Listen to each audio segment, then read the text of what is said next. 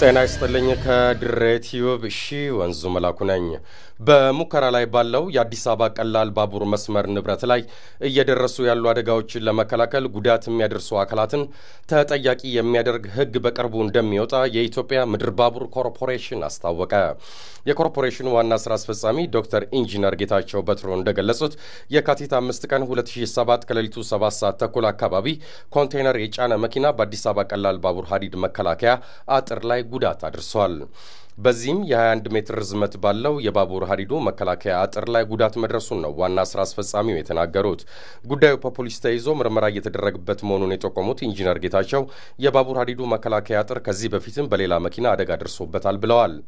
በቸልተኝነት በቀላል ባቡር ፕሮጀክቱ ንብረት ላይ እየደረሱ ያሉትን ጉዳቶች ለመከላከል የሌሎች ሀገራትን ተሞክሮ የቀመረ ሕግ ተረቋል ብለዋል ዋና ስራ አስፈጻሚው።